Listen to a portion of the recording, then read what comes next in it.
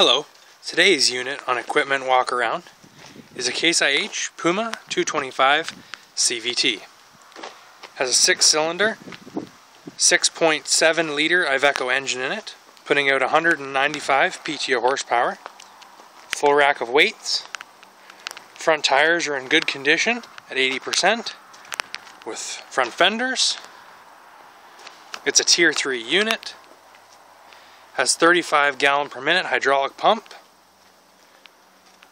telescopic adjustable power mirrors, rear axle duals.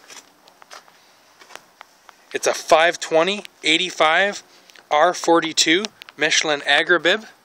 The rear tires are at 90%.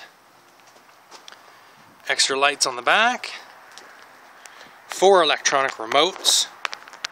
540 1000 adjustable PTO, category 3 three point hitch, rear cast weights are part of the rim for rear weight.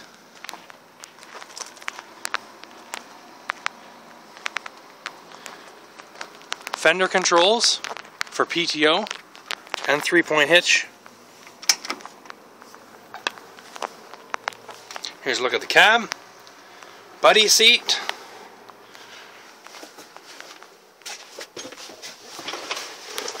CVT transmission, so it has a multifunction handle. The electronic remotes are up there. PTO is the switch on the side. Lights, radio, high visibility roof. Temperature climate controls for heat and AC, power shuttle, console over here with 723 hours. It has a heavy duty drawbar with a hammer strap.